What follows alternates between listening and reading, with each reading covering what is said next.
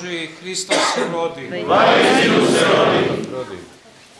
Dragi oci, draga braći i sestre, gospodine gradonačelniče, draga Svetosavska dečice, sve vas srdačno pozdravljam čestitajući ovaj divni praznik Božića, čestitajući krsnu slavu, slavu ovoga hrama, čestitajući svima vama i želeći blagoslov Božiji, posebno danas kad smo oslužili liturgiju, blagodarnost Bogu na velikome daru, na Božijoj milosti koji nam je pokazao Gospod svojim snishođenjem, svojim ulaskom u ovaj svet. A sigurno da ne bi bilo savršenja te svete tajne, da nije ovaj svet i ovaj rod ljudski dao Bogorodicu. Ona je nova Eva i zato danas njoj crkva posvećuje praznik, dan, drugi dan u okviru roždestva, kao što recimo u Bogojavljenju posvećuje Svetom Jovanu Krstitelju. Tako da nas je ova svetinja i ovaj hram sabrao i presveta Bogorodica, čija je tajna neodvojiva od svoga sina, jedinorodnoga, zato se tako i ikonopiše, vidite na ikonama, ona koja drži u naručiju svoje dete koje nju drži, jer je on prevečni Bog, Bog koji je stvorio svet i čoveka, koji je stvorio prvoga Adama i Evu, i Bog nije zaboravio čoveka. Bilo je potrebno da iz jevrejskog naroda izađe takva jedna devojka, prisno djeva, koja je čudesno dobila blagu vest, začela duhom svetim i rodila sina čovečijeg, pritom ostajući devojka.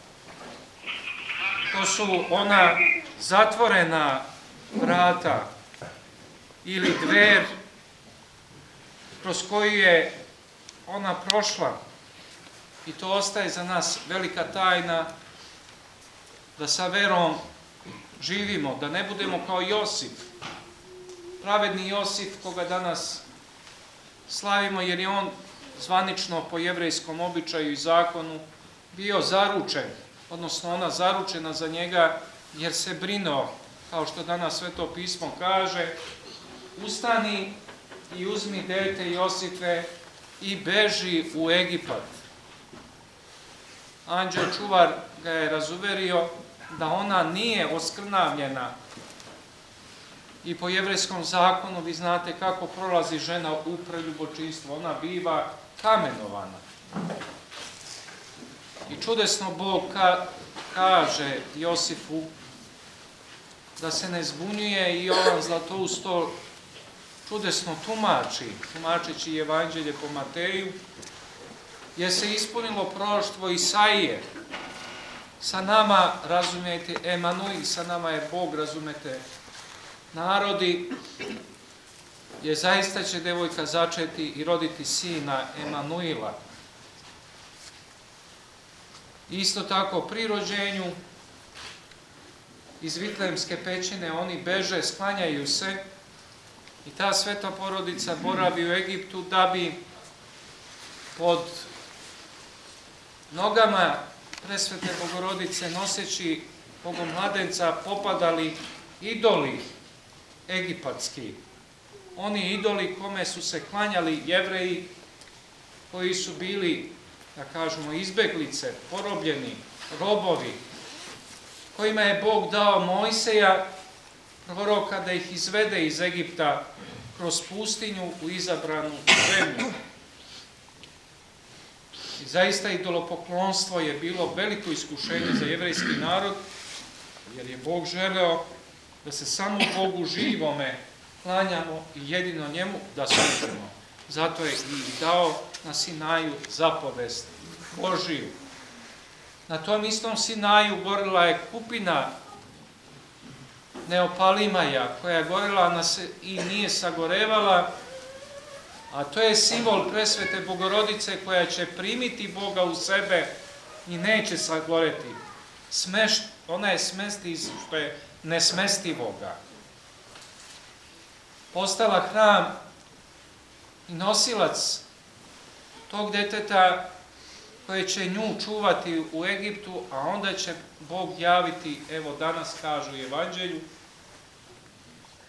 uzmi dete i kreni u Izrael, jer su umrli oni koji su želeli da ubiju to dete. Zbog tog deteta je mnogo vitlemske dece ubijeno i uništeno, jer se Irod zabrinuo, uplašio za svoju vlast.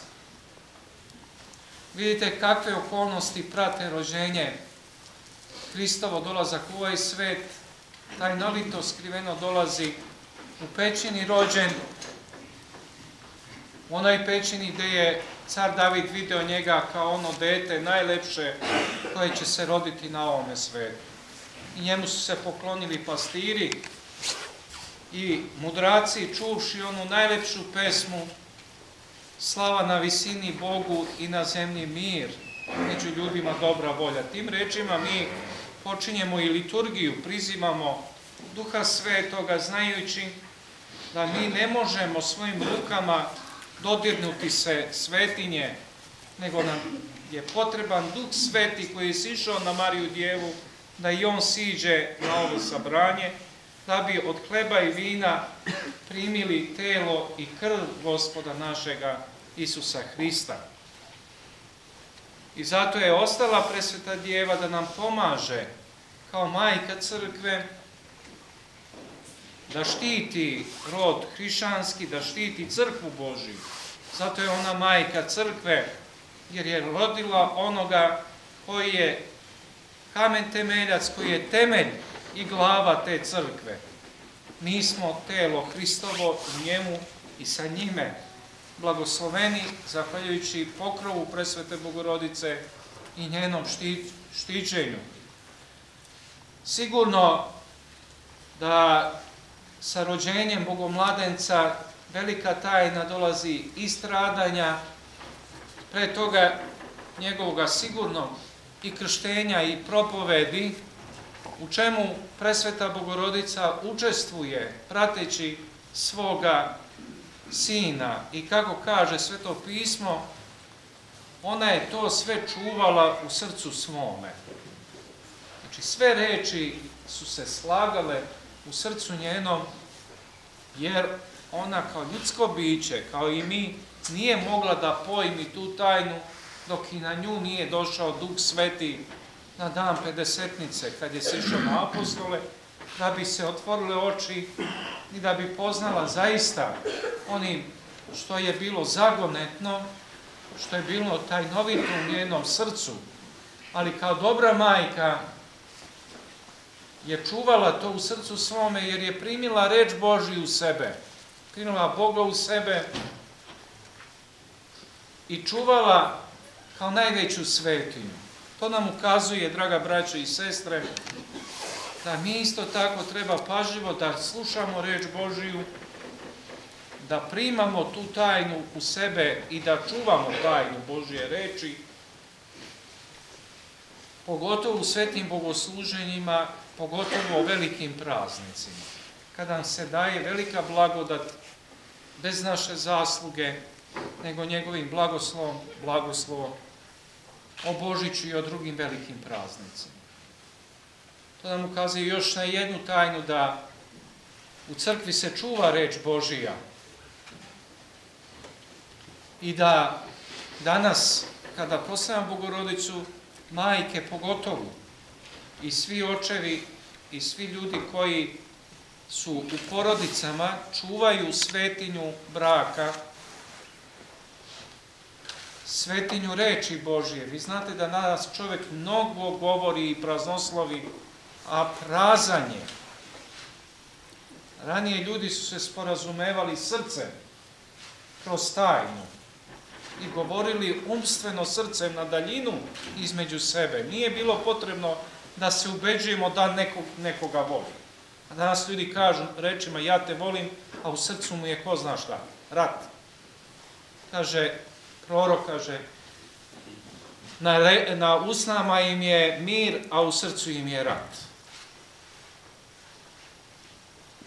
Pogledajte sve medije, pogledajte televiziju, mobilne telefone, kompjuteri. Svi žele da uđu u intimu i da razgrabe ono što ne može da se razgrabi, što je taj novito. Danas je čovek kao biće ugroženo. Zato je ugroženo detinstvo, očinstvo i materinstvo. To slobodno možemo reći da su i hrišćani podlegli uticaju svetskome. Danas ljudi hoće informaciju, a informacija nije dovoljna da bi imali znanje. Neko ako pročita knjigu ili pročita internet vest, to još ništa ne znači da on je pametan i mudar. Može biti veoma plitak i bez pameti i bez mudrosti, jer se mudrost daje u tajnosti srca, u molitvi, u bogosluženju, u čuvanju svete tajne. I zato vodite računa, jer dolazi teško vreme kada se vrši veliki pritisak na ljude da postanu individue, da postanu brojevi u jednom kolektivu kojim će, masi sveta, kojim će vladati gospodar ovoga sveta. Tako će Antihrist doći sračunato i najperfidnije da zavlada ljudskim umovima, da se sve stavi u jedan centar u kompjuter i da se kontrolišu ljudi i masi. Međutim, čovjek je tajna, kao što i Bog tajna, i ne možemo staviti šapu na njega, niti ga poklopiti, niti to Bog hoće zato što je Bog stvorio čoveka da mu bude partner, bukvalno da bude drugi prijatelj, da sa njim razgovara. Nije ga stvorio kao roba, a, a čovjek se pretvara u robsko biće, zahvaljujući svojim strastima i džavolima i svim onim čemu on robuje i on onda optužuje Boga, optužuje drugoga. Zato danas proslavljajući ovu tajnu čudesnog dolaska ovaj svet i vidite kako Bog čuva izabranike svoje. Bog čuva hrišćane, ali zavisi od nas da li ćemo i Bogu pomoći. Ako ima kome Bog pomoći, što je govorio sveti patrijak Pavle. Znači, Bog hoće da pomogne, ali neće čovek da ostane taj novito biće. Danas ljudi hoće sve da znaju. I on klikne, otvori sve i on prati, kabojagi prati gde se ko kreće, gde je vladika, gde je patrija, gde su kaluđeri. Kaluđeri u manastiru postali su svetovni na taj način što je ušla moda i ušle svetske te sprave i one razbijaju i tu tajnovitost doma Božijega, te majka Božija posebno čuva svetinje. Vodimo računa, treba tehniku potrebiti, ali ne treba dozvoliti da ona otuđi nas jedne, jedne od drugih, nego treba, dragi moji, da se sretnemo. Kako bi to bilo sad ja da sedem u Nišu i da vi ovde gledate ovaj liturgiju i da kažete, evo vi, mi je vladiku vidimo tamo, on služi liturgiju u Nišu i mi smo sa njime i on sa nama. Znači, ipak je potreban susret. Ipak je potrebno da kažemo, ako je Bog došao da kaže čoveku reč, i da ga uzme u zagrljaj, i to božićni zagrljaj, da ga zagrli večnim zagrljaj. To čini crkva, to čini ovaj hram kome, koji slavi upravo praznik zagrljaja Bože, zagrljaja između božanske i čovečanske prirode. Zagrljaju između Boga i čoveka, pomažu sve te tajne i sve te vrline. Znači, zato je sveštenstvo dato i dato, nam je sve u crkvi, da bi tako održali kondiciju i da bi se pripremali za onaj konačni zagrljaj u carstvu nebeskom. Neka bi dao Bog da ovde bude zalog za sve one koji su se otuđili i odvojili od ovoga hrama ili ne dolaze često ili se lišavaju blagodati. Da Bog da da se i ovaj grad i ova zemlja i svih pravoslavnih hrišćani sačuvaju, da se sačuva taj novitost ljudskog odnosa, odnosa sa Bogom živi i jedni sa drugima. U toj tajni neka nam presveta vladičica Bogorodica pomogne svojim pokrovom, je srećna i blagoslovena slava i praznik još jedan put, mir Boži, Hristos se rodi. Vajstinu se rodi. Živjeli nam mnoge lijepe.